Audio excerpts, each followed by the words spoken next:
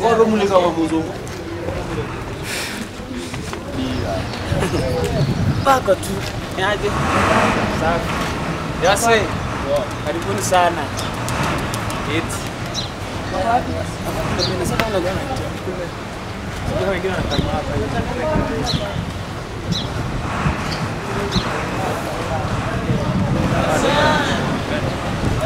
Eh, eh, eh.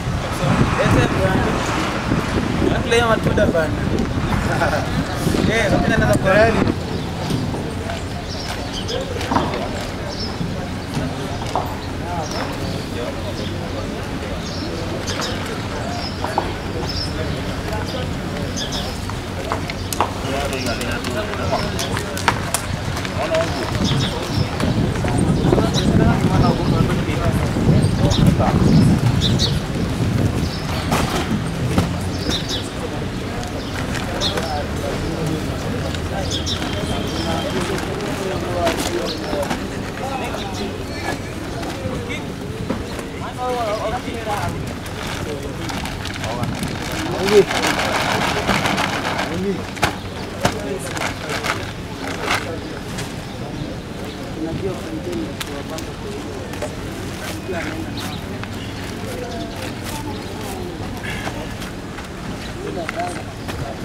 Amém.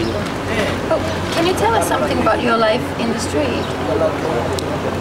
Yeah, um, life here for me, may say, from the first day I entered in the city, you know, that was the time I knew that I have come, I'm facing trouble from that day, from my first day I came here in the city. That's the time I knew that I truly I faced a life which I did not expected in my life. So since I entered here, may I say, for several times I've been put in jail, but I thank God after some day, after finishing my my yeah, yeah in, in jail, yeah, I mean yeah. staying in jail. Yeah.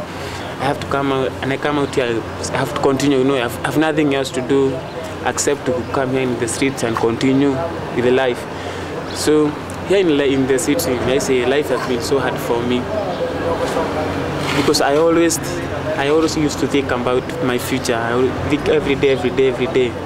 I always ask my God what will happen in my future, what God has kept for me for my future. You know, after facing many troubles here, be- be- being hated by people here, by this kind of life.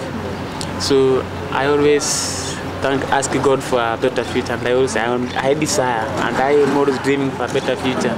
Yeah. So, what do you think about this association, this group? Yeah.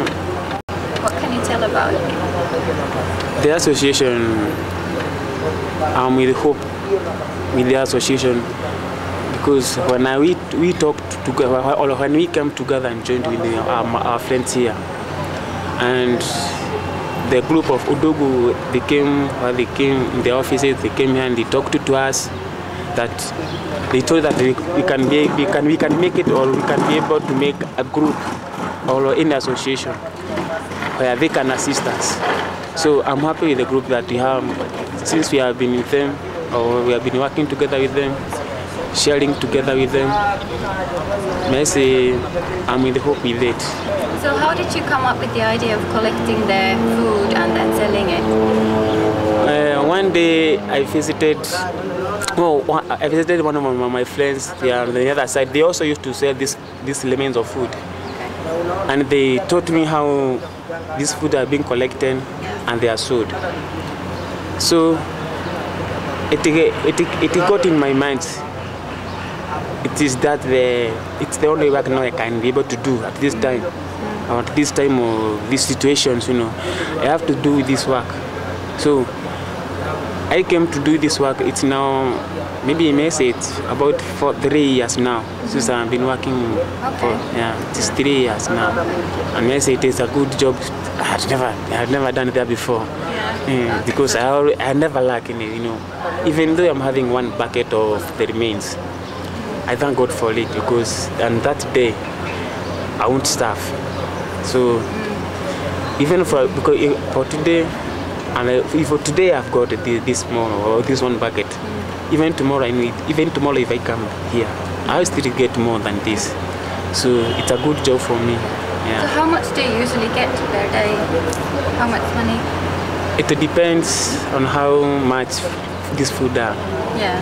yeah maybe for today I go I just managed to have 350 shillings mm-hmm. and there are sometimes maybe tomorrow it might be 200 Okay. and the other day 400 500 600 that way Yeah. yeah Okay. it depends And is that enough for food and then paying for your room? yeah, yeah. na hii nini? Ujue unaongea urongo. kama utaki yeko yezi yekwa kama umesema isieko yezi yekwa Kazeru.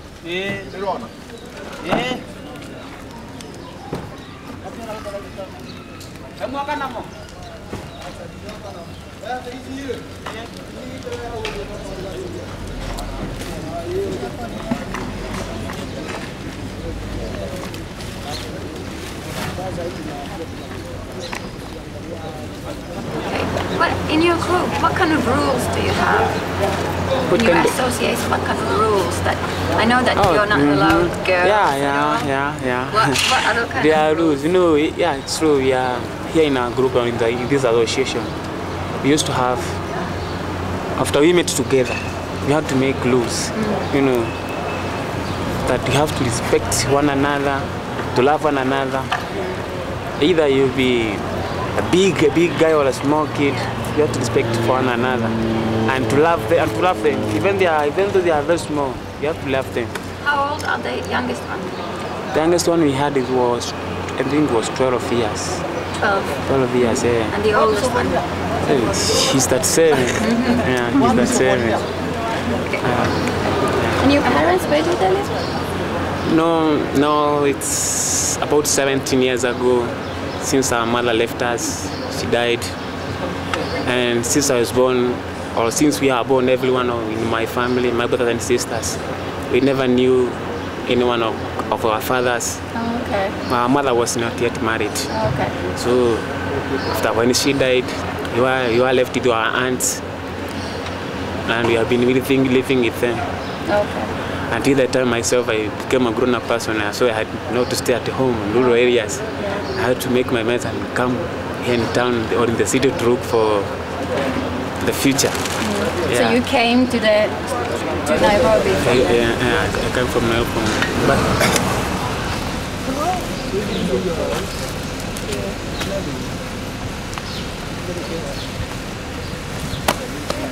So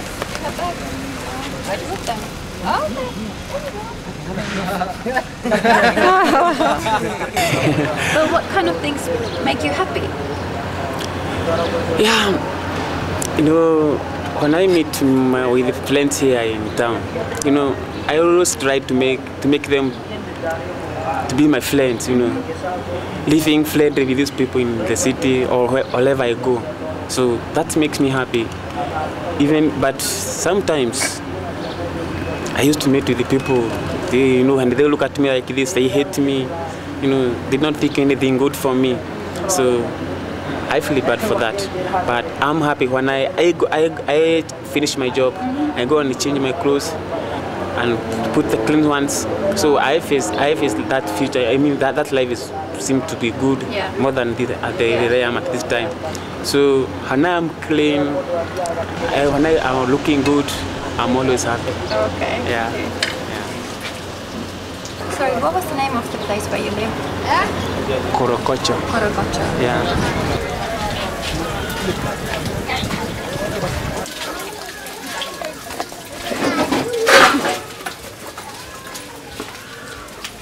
Mm-hmm.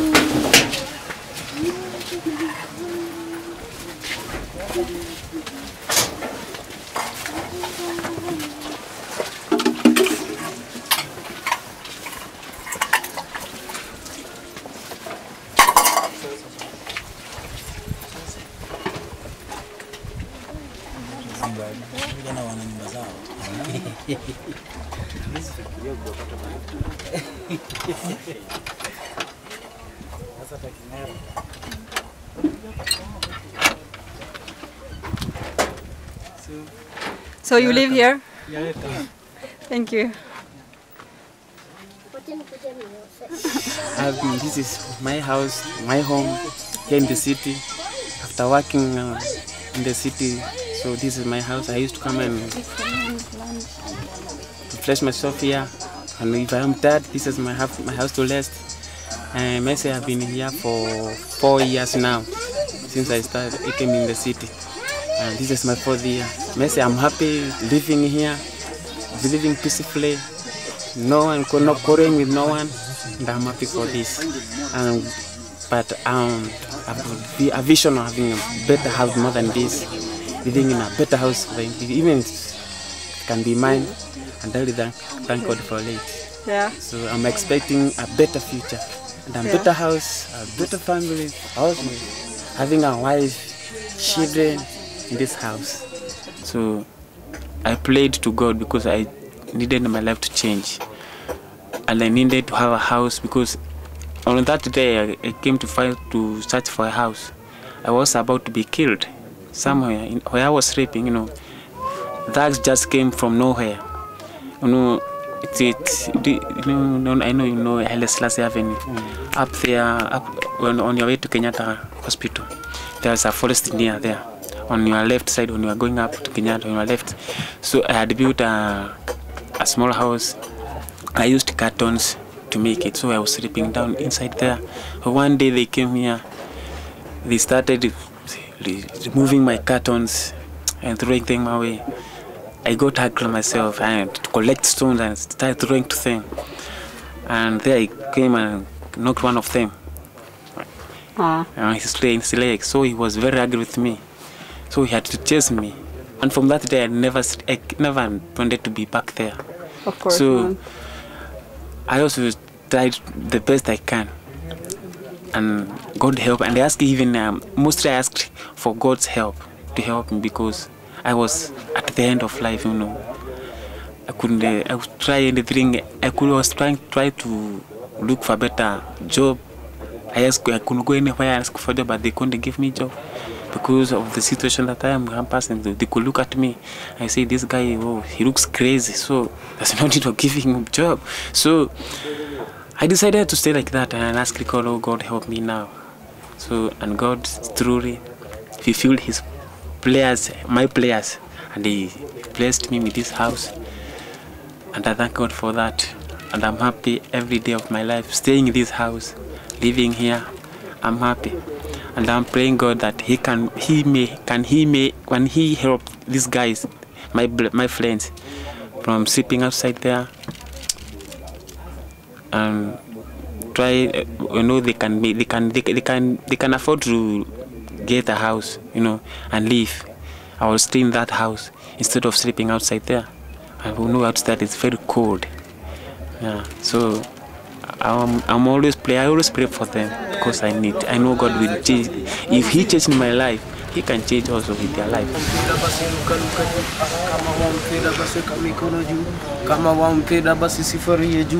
Kama wampenda basi Saudi Jesus, kama wampenda basi ruka ruka juu, ah, wampenda basi weka mikono juu, ah, kama wampenda basi sufuria juu, kama wampenda basi Saudi Jesus. Hebu fikiria ulivyoumbwa, sura yako nzuri, tabia yako pia, wengine ni warefu, wengine ni wafupi, maumbo yetu yote ni mpango wa Yehova. Sote tuko sawa, ndugu tuko sawa, sote tuko sawa, dada tuko sawa, sote tuko sawa, baba tuko sawa, sote tuko sawa, mama tuko sawa. Kama wampenda basi rukaruka ruka juu, kama wampenda basi weka mikono juu, kama wampenda basi sifurie juu, kama wampenda basi sauti sasa. Yesu ulitupenda hata akatufundisha. Tupende watu wote hata kama ni adui, kuponya watu wote hata bila ubaguzi, kuwafufua wafu na vipofu akaona, niwasamehe dhambi zao bila ya kulipo. Roho ya upendo Yesu alikuwa naye. Ndugu yangu, dada yangu, kuwa kama Yesu, kuwa kama Yesu, kuwa kama Yesu.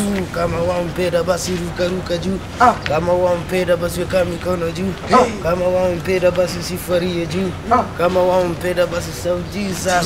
Bro, niwaambie kwa basi si mchezo, sikusamehewa, viboko nilipewa, lakini sasa hapa wokovu nimepewa, hai nimepewa na roho nimepewa, posa ninasema mikono juu ya hewa, mikono juu ya hewa, mikono juu ya hewa.